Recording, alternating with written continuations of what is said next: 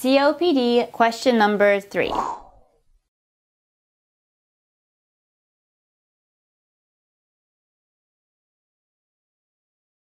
Which of the following diets is best for a client with chronic COPD?